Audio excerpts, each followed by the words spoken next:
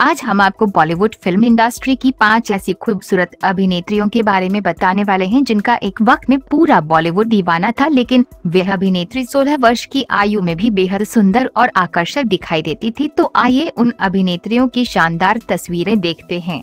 एक, Madhuri Dixit.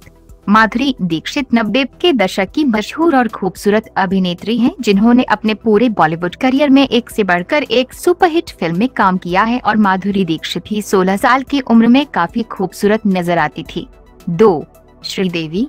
Bollywood film industry की दिग्गज अभिनेत्री श्रीदेवी भले ही इस दुनिया में नहीं है, लेकिन वह अपनी फ़िल्मों की वजह से हमेशा ही दर्शकों के बीच मौजूद बता दें कि श्रीदेवी ने मात्र 16 साल की उम्र में ही बॉलीवुड में अपना डेब्यू किया था और उस समय भी श्रीदेवी बेहद बोल्ड नज़र आती थी।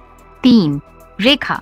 रेखा बॉलीवुड की बेहद खूबसूरत और मशहूर अभिनेत्री हैं, जो कि आज भी अपनी खूबसूरती से बॉलीवुड की युवा अभिनेत्रियों को कड़ी टक्कर देती है और रेखा ने भी मात्र 14 वर्ष की उम्र में ही फ़िल्मों में काम करना शुरू कर दिया था और 14 साल की उम्र में भी रेखा बहुत ही खूबसूरत दिखाई देती थी।